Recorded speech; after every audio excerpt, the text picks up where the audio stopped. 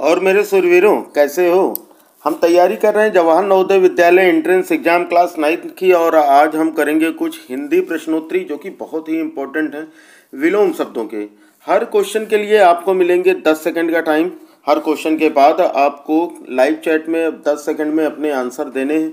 और उसके बाद जब सारे क्वेश्चंस हो जाएँगे तो उसके बाद आपको ये बताना जैसे आज के क्लास में थर्टी क्वेश्चंस हैं तो आपको ये बताना कितने क्वेश्चन आपके सही हुए। अगर आपका ट्वेंटी फाइव सही होते हैं तो कमेंट बॉक्स में जाकर लिखिएगा ट्वेंटी फाइव बाई थर्टी क्योंकि इसके बाद मुझे पता लग जाता है कि भाई आपके कितने क्वेश्चन सही हुए। अभी आपको कितनी तैयारी की ज़रूरत है, ठीक है ना? तो चलो इतना कर लीजिएगा। और साथ ही साथ क्लास शुरू करने से पहले आपसे रिक्वेस्ट है कि अब तक अगर आपने वीडियो को लाइक नहीं किया तो वीडियो को लाइक कर दीजिए। क्योंकि आज की जो वीडियो लाइक का टारगेट है, वो है 150 प्लस लाइक्स तो 150 प्लस लाइक्स का टारगेट है। अगर मैं आप लोगों के लिए इतना कर रहा हूँ तो आप मेरे लिए तो इतना कर ही सकते हो, ठीक है बच्चा? और जो लोग चैनल पर नए हैं, वो चैनल को सब्सक्राइब कर कर बेल आइकन को प्रेस कर लेंगे, ताकि उन्हें हमारे हर क्लास की नोटिफिकेशन मिलते रहे। साथ ही साथ इंग्लिश ग्रामर की तैयारी के लिए या फिर क्लास सिक्स टू टेंथ की मैथ्स इंग्लिश और साइंस है ना? इन तीन चीज़ों को पढ़ने के लिए आप अपना दूसरा चैनल पढ़ लिया। उसको सब्सक्राइब कर लीजिए। उसका भी लिंक डिस्क्रिप्शन में है, जहाँ पर हम लोग अप्रैल से अब नया बैच शुरू होगा। किसकी? क्लास नाइन्थ की मैथ का। नवोदय नहीं क्लास नाइन्थ की मैथ का। ठीक बच्चा तो चलो फिर हम आते हैं सीधा आज के क्वेश्चन पे। तो आज का पहला क्वेश्चन क्या दिया गया? आज का पहला क्वेश्चन दिया गया है कि विमुख का विलोम शब्द क्या होगा? ठीक है, यहाँ पर हमको विलोम शब्द बताने हैं। तो विमुख का विलोम शब्द बताना है। और आपके ऑप्शन से ए हैं अमुख बी उन्मुख सी प्रमुख, या फिर डी इनमें से कोई नहीं। और आपका समय शुरू होता है अब।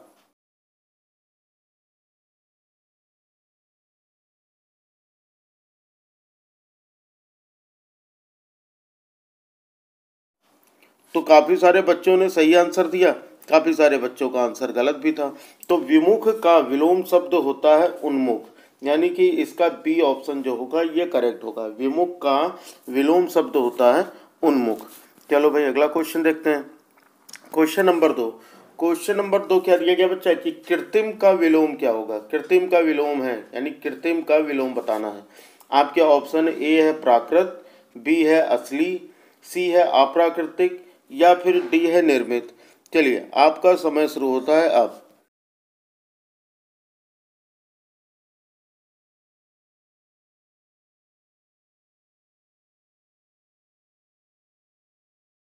तो कृत्रिम का जो विलोम होता है, वो होता है प्राकृत। भाई, कृत्रिम का मतलब क्या होता है? जो बनाया गया हो। अब प्राकृत का मतलब क्या होता है? जो हमें प्रकृति से मिली हो। है ना, कृत्रिम तो ये क्या है हमारे, कृत्रिम रे से, प्राकृत रे से पढ़े हो तो वही इसे कृत्रिम से प्राकृत हो जाएगा। ठीक है ना? चलो भाई, अगले क्वेश्चन पे हम आ जाते हैं। अगला क्वेश्चन क्या दिया गया? अगला क्वेश्चन दिया गया है कि अनुकूल शब्द अनुकूल शब्द का विलोम बताना है। किसका? अनुकूल शब्द का। माय ऑप्शंस क्या है? ऑप्शन ए है प्रतिकूल बी अपकूल सी अनुकूलन, या फिर डी सानुकूलन। तो अनुकूल शब्द का विलोम बताना है और आपका समय शुरू होता है अब।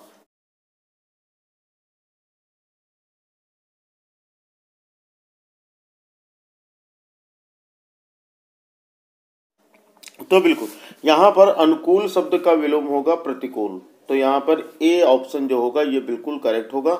अनुकूल शब्द का विलोम होता है बच्चा प्रतिकूल। तो ए ऑप्शन क्या है हमारा? सही है। अगले क्वेश्चन पे हम आ जाते हैं। अगला क्वेश्चन दिया गया है उत्कर्ष। उत्कर्ष शब्द है ना? उत्कर्ष का विलोम क्या होगा? चलो भाई। उत्कर्ष का विलोम क्या होगा? आपके ऑप्शन है ए अपकर्ष बी परामर्श सी संघर्ष और डी विमर्श। तो चलिए, आपका समय शुरू होता है। अब।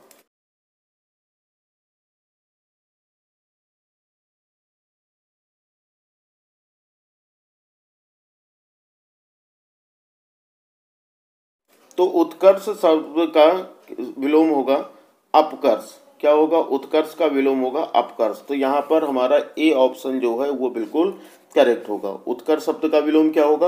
अपकर्ष होगा। ठीक है? चलो भाई, जो बच्चे जिनको नहीं पता था उनको याद हो गया होगा। आगे क्वेश्चन पे बढ़ते हैं। अगला क्वेश्चन क्या है?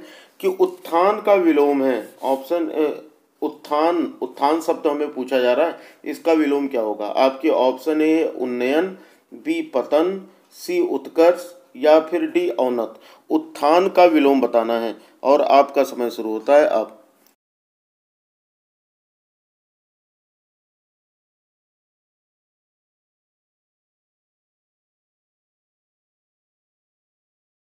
तो बिल्कुल, उत्थान उत्थान का मतलब उठना, और पतन का मतलब गिरना। तो इसका मतलब बी ऑप्शन जो होगा, ये सही होगा, उत्थान का विलोम क्या होगा? पतन होगा। अगला क्वेश्चन देखते हैं भाई। अगला क्वेश्चन क्वेश्चन नंबर छः तो क्वेश्चन नंबर छः क्या दिया गया है? वक्र शब्द का सही विलोम बताना वक्र का सही विलोम बताना है। क्या बताना है? वक्र का सही विलोम। आपके ऑप्शन है ए, तिरछा, बी, क्षुद्र, सी, रिज या फिर डी, टेढ़ा। तो वक्र शब्द का विलोम बताना है और आपके समय शुरू होते हैं अब।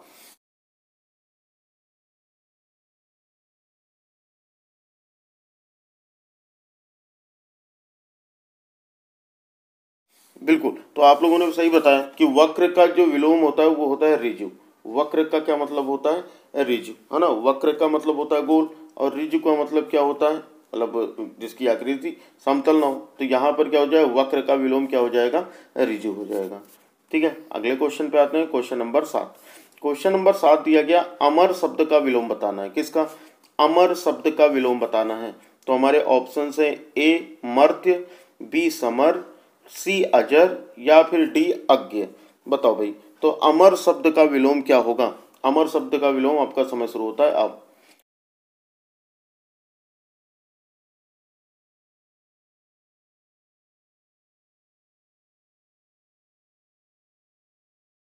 तो बिल्कुल आपका जवाब बिल्कुल सही है, ए होगा। अमर जो मरे ना, मरते जो मरे तो इसका मतलब अमर का जो विलोम होगा, वो क्या होगा? मरते होगा। तो ऑप्शन ए जो होगा, ये बिल्कुल करेक्ट होगा। अगला क्वेश्चन देखते हैं बच्चा। क्वेश्चन नंबर एट अगला आठवां क्वेश्चन दिया गया, अनिवार्य शब्द का विलोम बताओ। किसका बताना है? अनिवार्य शब्द का विलोम बताना है। आपके ऑप्शन से ए ऐच्छिक बी आवश्यक सी अनैच्छिक या फिर डी वैकल्पिक। और आपका समय शुरू होता है अब।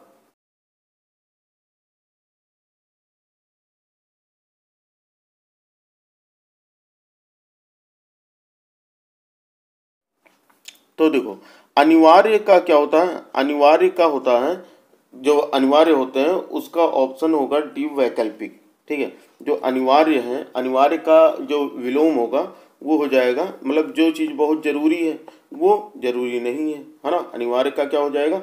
यहाँ पर सॉरी अवैकल्पिक का यहाँ पर आपका वैसे तो अनिवार्य का अच्छिक भी हो सकता है। मतलब अनिवार्य है करना या तुम्हारी इच्छा हो तो करो या ना करो तो उस हिसाब से तो भाई मेरे हिसाब से यहाँ पर आपका ऑप्शन ए करेक्ट होना चाहिए। ठीक है? तो करेक्ट आंसर क्या होगा? ए। अनिवार्य का सही ऑप्शन क्या होगा? ए होगा ऐच्छिक। बताओ भाई, समझ में आ गया? तो आठवें का ए ऑप्शन जो होगा ये बिल्कुल करेक्ट होगा। बताइए समझ में। चलो, अगला क्वेश्चन देखते हैं। क्वेश्चन नंबर नाइन तो क्वेश्चन नंबर नाइन क्या दिया गया है कि व्यय का विलोम बताना है। किसका? व्यय का विलोम बताना है। व्यय शब्द का विलोम बताना है। आपके ऑप्शन है ए धनागम बी आमदनी सी धन या फिर डी आय। तो व्यय शब्द का विलोम बताना है। आपका समय शुरू होता है अब। तो बिल्कुल, ये तो सभी बच्चों का सही हुआ। तो व्यय का जो विलोम होता है, वो होता है आय। है ना? व्यय का मतलब व्यय का मतलब होता है खर्च करना और आय का मतलब होता है कमाना। तो व्यय का जो विलोम होगा, वो क्या होगा हमारा? आय यानी कि डी ऑप्शन जो है, ये बिल्कुल करेक्ट होगा। अगला क्वेश्चन देखते हैं। क्वेश्चन नंबर दस। तो क्वेश्चन नंबर दस दिया गया है, संयोग का विलोम क्या होगा? संयोग शब्द का विलोम बताना है। किसका? संयोग शब्द का विलोम बताना है। ऑप्शन ए है, विप्रलंब बी है, वियोग सी है, विरह, या फिर डी है, मिलना। चलो भाई, बताओ, संयोग शब्द का विलोम। और आपका समय शुरू होता है अब।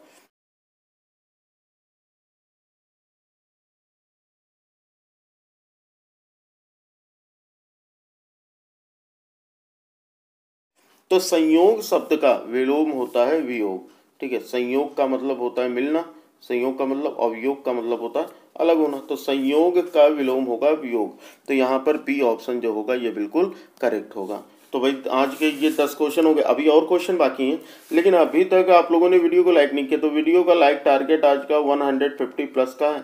तो भाई, जिन बच्चों ने लाइक नहीं किया, वो लाइक कर दें। और जो चैनल पे नए हैं, वो सब्सक्राइब ज़रूर कर लेंगे। ठीक है ना? चलो भाई, आगे बढ़ते हैं हम अगला क्वेश्चन अगला क्वेश्चन हमें दिया गया है, सूक्ष्म शब्द का विलोम क्या होगा? सूक्ष्म शब्द का विलोम बताना है हमें।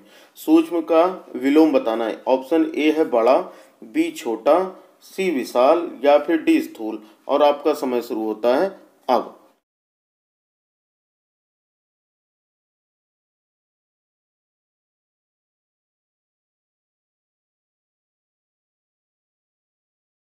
तो बिल्कुल, आप लोगों ने बिल्कुल सही जवाब दिया। सूक्ष्म का जो, सूक्ष्म का विलोम होगा, है ना? सूक्ष्म का होगा स्थूल। तो यहाँ सूक्ष्म का जो विलोम होगा, वो क्या होगा? स्थूल। यहाँ पर डी ऑप्शन जो होगा, ये करेक्ट होगा। ठीक है? तो सूक्ष्म का स्थूल। तो डी ऑप्शन जो होगा, ये बिल्कुल करेक्ट होगा। आगे बढ़े। चलो भाई, अगला देखते हैं। अगला क्वेश्चन दिया गया है, उपेक्षा शब्द का विलोम बताना है हमें। उपेक्षा शब्द का विलोम बताना है। तो हमारे ऑप्शन क्या है? ऑप्शन ए है अपेक्षा बी उत्प्रेक्षा सी परीक्षा, या फिर डी अवहेलना। चलो भाई तो यहाँ पर हमें क्या बताना उपेक्षा शब्द का विलोम बताना है। और आपका समय शुरू होता है आप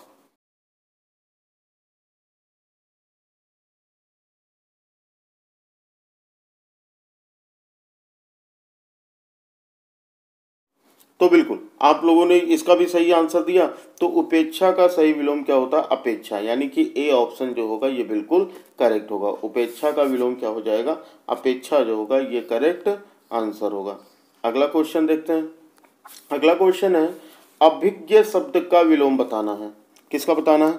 अभिज्ञ शब्द का विलोम बताना है। तो आपके ऑप्शन से ए अज्ञानी बी अनभिज्ञ सी मूर्ख या फिर डी भिज्ञ और आपका समय शुरू होता है अब।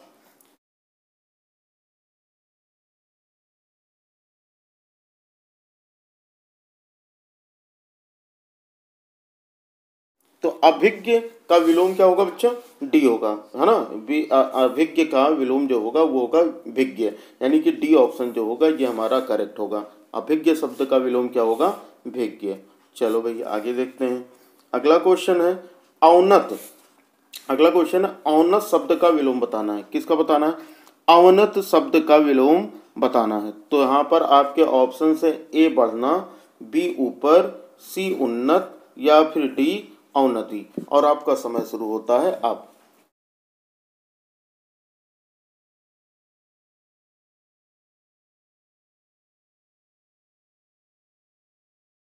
तो बिल्कुल यहाँ पर आपका जवाब सही सी ऑप्शन जो होगा, ये बिल्कुल करेक्ट होगा। औन्नत का विलोम होता है उन्नत। औन्नत का सही विलोम होता है उन्नत। ठीक है तो यहाँ पर सी ऑप्शन जो होगा, ये बिल्कुल करेक्ट होगा। अगला क्वेश्चन देखते हैं भाई question number fifteen question number fifteen क्या दिया गया? नीरस शब्द का विलोम बताना है। किसका? नीरस शब्द का विलोम बताना है। तो आपके ऑप्शन से ए बिना रस के बी रसीला सी मीठा या फिर डी सरस, नीरस शब्द का विलोम बताना है और आपका समय शुरू होता है अब।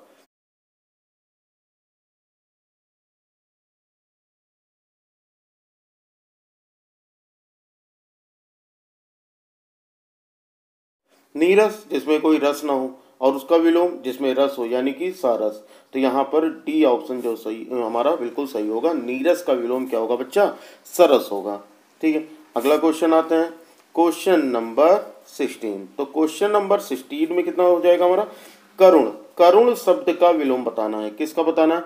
करुण शब्द का विलोम बताना है. आपके ऑप्शन है ए निष्ठुर बी निठुर सी निर्दय, या फिर डी कठोर.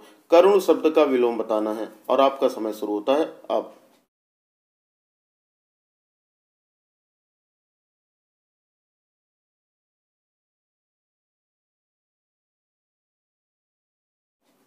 तो बिल्कुल यहाँ पर करुण शब्द का विलोम क्या होगा? करुण शब्द का विलोम होगा निष्ठुर। यानी कि ऑप्शन ए जो होगा, ये बिल्कुल करेक्ट होगा। करुण शब्द का विलोम क्या होगा? निष्ठुर। यानी कि ऑप्शन ए जो होगा, ये बिल्कुल सही होगा। तो याद रखिएगा, करुण का जो विलोम होगा, वो होगा निष्ठुर। अगले क्वेश्चन में पढ़ते हैं। क्वेश्चन नंबर सेवनटीन तो क्वेश्चन नंबर सेवनटीन दिया गया, मलिन शब्द का विलोम बताना है। किसका विलोम बताना है? मलिन शब्द का विलोम बताना है। आपके ऑप्शन ए है मेल रहित, बी है सुधरा सुधरा, सी है स्वच्छ, या फिर डी है गंदा। तो आपको मलिन शब्द का विलोम बताना है और आपका समय शुरू होता है अब।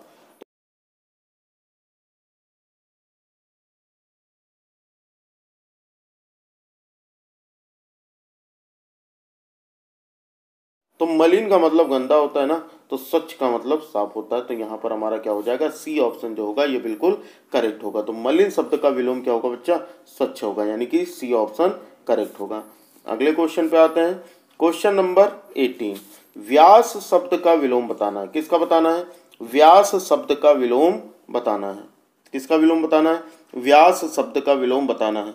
तो आपके ऑप्शन ए है संक्षेप बी है समास सी है लघुत या फिर डी है संश्लेषण। चलिए, और आपका समय शुरू होता है अब।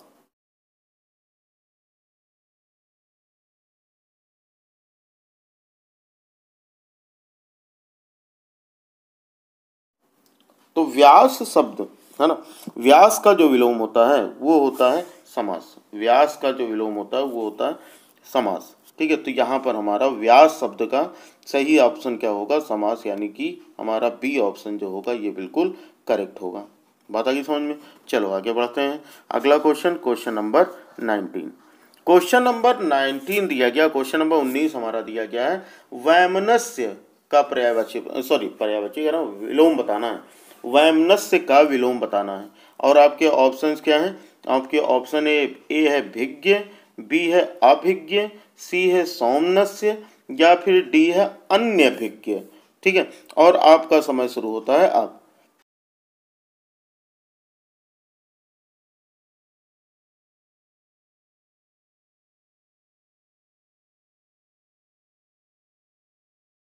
तो वैमनस्य का सही विलोम होगा सौमनस्य यानी कि सी ऑप्शन जो होगा, ये करेक्ट होगा। वैमनस्य का विलोम शब्द क्या होगा? सौमनस्य। तो यानी कि सी ऑप्शन जो होगा, ये बिल्कुल सही होगा। अगले क्वेश्चन पर देखते हैं। अगला क्वेश्चन हमें दिया गया है, शोषक। शोषक शब्द दिया गया और शोषक शब्द का विलोम बताना है। किसका बताना है? शोषक शब्द का विलोम बताना है। आपके ऑप्शन ए है पोषक बी है शोषित सी है पोषक और डी है शोषण। अरे, दो बार पोषक आ गया। चलो भाई, और आपका समय शुरू होता है। अब।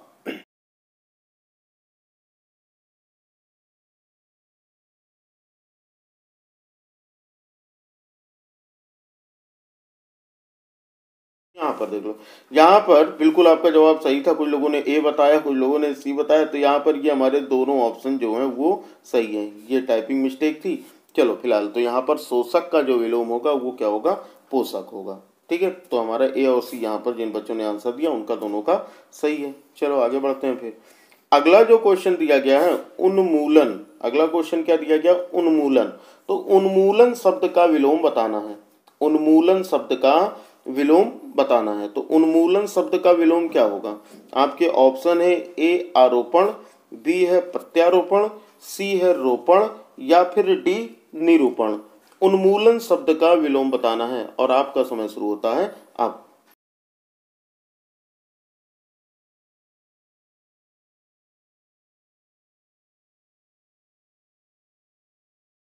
तो उन्मूलन शब्द का जो विलोम होगा, वो होगा आरोपण। क्या हो जाएगा? आरोपण। ठीक है? उन्मूलन शब्द का सही विलोम क्या होगा? आरोपण, यानी कि हमारा ऑप्शन ए जो होगा, बच्चा, ये बिल्कुल सही होगा। अगला क्वेश्चन देखते हैं। क्वेश्चन नंबर तो क्वेश्चन नंबर इक्कीस तक हो गया, लेकिन आप लोग लाइक पर ध्यान नहीं दे रहे हो। तो लाइक का टारगेट आज का 150 प्लस का है तो बच्चा, जैसे जैसे आते रहो, वैसे वैसे करते रहो। ठीक है? और जो बच्चे नए आते रहे, वो चैनल को सब्सक्राइब भी करते रहें। चलो, आगे बढ़ते हैं। अगला जो क्वेश्चन है वो शब्द हमें दिया गया बाईसवें का चित्रं चिर, चिरंतन, ठीक है ना? चिरंतन। तो चिरंतन का हमें विलोम बताना क्या बताना चिरंतन का विलोम बताना हमारे ऑप्शन क्या है? ए नस्वर बी अनस्वर सी, नाश, या फिर डी, अंत। चिरंतन का विलोम क्या होगा? और आपका समय शुरू होता है अब।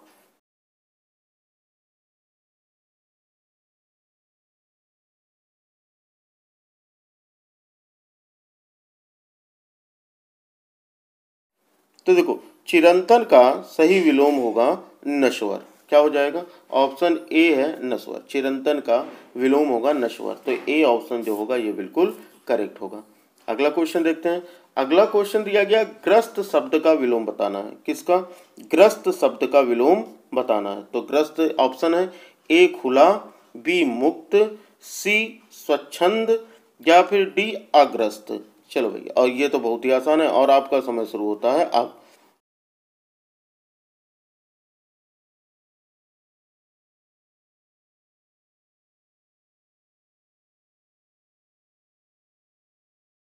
तो बिल्कुल, आप लोगों ने बिल्कुल सही जवाब दिया यहाँ पर। क्या हो जाएगा? ग्रस्त का जो विलोम होगा, है ना?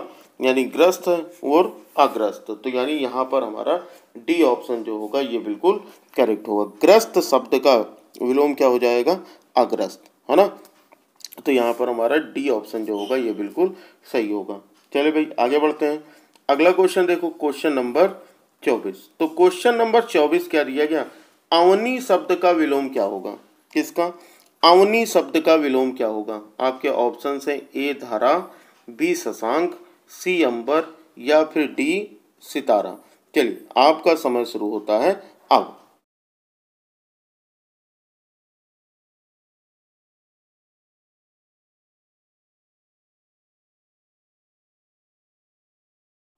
तो अवनी शब्द का विलोम जो होगा, वो होगा हमारा अंबर। क्या होता है? सी शब्द। यानी कि अवनी शब्द का जो विलोम होगा वो हो जाएगा अंबर यानी कि सी ऑप्शन जो होगा ये बिल्कुल करेक्ट होगा। अवनी शब्द का आ, क्या हो जाएगा विलोम? सी यानी कि अंबर। अगला क्वेश्चन देखते हैं। अगला क्वेश्चन अगला क्वेश्चन हमारा क्या दिया गया? अगला क्वेश्चन दिया गया ईस्ट शब्द का विलोम बताओ। ईस्ट शब्द का विलोम बताओ। तो यहाँ पर हमारा ऑप्शन ए है अभिलाषा बी है लालसा सी है अनिष्ट या फिर डी है प्रविष्ट। और आपका समय शुरू होता है अब।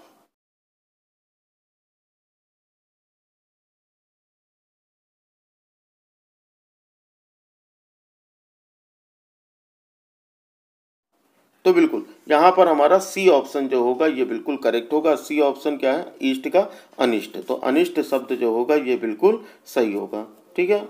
अगला देखते हैं क्वेश्चन नंबर छब्बीस। तो क्वेश्चन नंबर छब्बीस क्या दिया गया?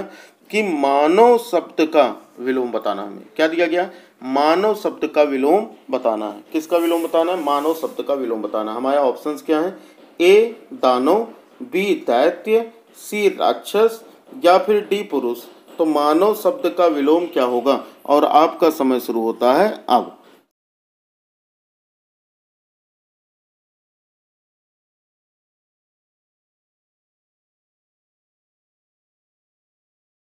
तो बिल्कुल, यहाँ पर मानव शब्द का जो विलोम होगा, वो हो जाएगा हमारा दानो। मानव शब्द का विलोम क्या हो जाएगा? दानो। तो ए ऑप्शन जो होगा, ये बिल्कुल करेक्ट होगा। मानव शब्द का विलोम क्या होगा हमारा? ए ऑप्शन जो होगा, दानो, ये बिल्कुल सही होगा। चलो भाई, अगला क्वेश्चन देखते हैं। अगला क्वेश्चन दिया गया क्वेश्चन नंबर सत्ताईस। तो क्वेश्चन नंबर सत्ताईस दिया, आचार शब्द का विलोम क्या होगा? आचार शब्द का विलोम क्या होगा? आपके ऑप्शन है ए अनाचार बी अनाचार सी अत्याचार या फिर डी विचार। और आपका समय शुरू होता है अब।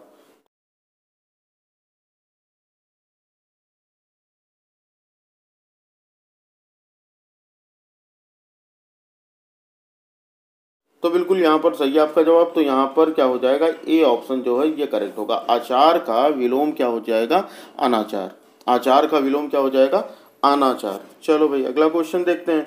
अगला क्वेश्चन दिया गया, आकाश शब्द का विलोम बताना आपको। किसको बताना है? आकाश शब्द का विलोम बताना है। तो ये तो सभी को पता है।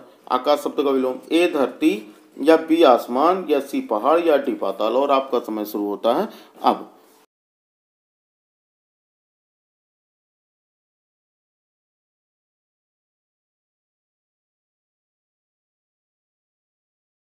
तो बिल्कुल आपका जवाब तो एकदम सही निकला भाई। आकाश का जो विलोम होगा, वो क्या हो जाएगा? हमारा डी ऑप्शन पाताल। तो आकाश का जो विलोम होगा, वो क्या हो जाएगा? पाताल जो होगा, ये बिल्कुल करेक्ट आंसर होगा। अगला क्वेश्चन देखते हैं क्वेश्चन नंबर उनतीस। क्वेश्चन नंबर उनतीस है तीक्ष्ण। ठीक है, तीक्ष्ण शब्द का विलोम क्या होगा? तो तीक्ष्ण शब्द का विलोम हमें बताना है। ऑप्शन ए है तीव्र, बी है कुंठ, सी है क्षीण, या फिर डी है मंद। तो तीक्ष्ण शब्द का विलोम क्या होगा? तो आपका समय शुरू होता है अब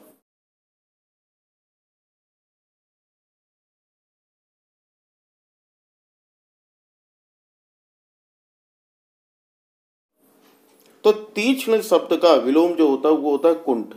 यानी कि बी ऑप्शन जो है, वो सही होगा। ठीक है तीक्ष्ण का जो ऑप्शन तीक्ष्ण का विलोम क्या होगा?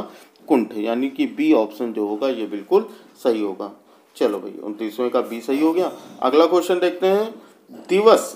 अगला क्वेश्चन नंबर तीस दिया गया है।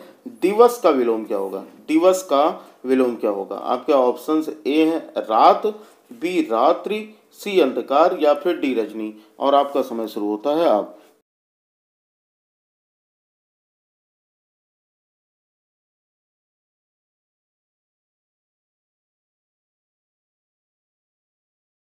तो ये भी भैया आपका जवाब बिल्कुल सही निकला। तो जो दिवस शब्द होता है, इसका जो विलोम होता है, वो क्या होता है हमारा? रात्रि। तो यानी कि बी ऑप्शन जो होगा, ये बिल्कुल करेक्ट होगा। तो यहाँ पर बी ऑप्शन जो होगा, वो बिल्कुल करेक्ट होगा। ठीक है? अगर इसमें कुछ को प्रश्न जो है, असंगत हो। आपके हिसाब से लगता हो कि उसके आंसर सही नहीं है तो वो आप हमसे टेलीग्राम पर डिस्कस कर सकते हैं। लिंक आपको डिस्क्रिप्शन में टेलीग्राम का दिया गया है। वहाँ से जाकर टेलीग्राम ज्वाइन कर लीजिएगा। तो ये आज के तीस क्वेश्चन थे। अब आप लोगों ने आंसर दिए तो कमेंट बॉक्स में जाकर इस पर बताइएगा कि कितने क्वेश्चन आपके तीस में से कितने अगर पच्चीस हुए तो पच्चीस बटे तीस। ऐसे लिख के अपना आंसर दीजिएगा। ठीक है ना? तो चलो फिर बच्चा लोग, आज के लिए इतना ही रखते हैं। वीडियो अगर आपको अच्छी लगी हो तो वीडियो को लाइक कर दीजिए। एक one hundred fifty plus likes का टारगेट मैंने आज रखा था। अब देखते हैं भाई, ये कंप्लीट होता है कि नहीं होता है। और जो बच्चे चैनल पे नए हैं, वो चैनल को सब्सक्राइब कर कर बेल आइकन को प्रेस कर लें, ताकि हमारे हर क्लास की नोटिफिकेशन में मिलती रहे। साथ ही साथ अपना एक दूसरा चैनल है, पढ़ लिया। ठीक है, पढ़ लिया पर हम लोग अभी तो इंग्लिश ग्रामर की तैयारी कर रहे हैं। आगे चल के हम आगे की classes class six to tenth की मैथ साइंस इंग्लिश हम वहाँ पर पढ़ेंगे एन बुक्स कि जो कि आपके स्कूल में पढ़ाई जाती है तो जाकर उस चैनल को भी सब्सक्राइब कर लो और अपने रिलेटिव्स वगैरह, अपने फ्रेंड्स वगैरह को भी सेंड कर दो, क्योंकि सभी यहाँ पढ़ने वाले तो लोग होंगे ही, ठीक है? तो चलो फिर बच्चा लोग, आज के लिए इतना ही रखते हैं। तो उम्मीद है कि आप लोगों ने ये सारे काम कर लिए होंगे। फिर मिलते हैं अगली क्लास में, तब तक के लिए जय हिंद, वंदे मातरम।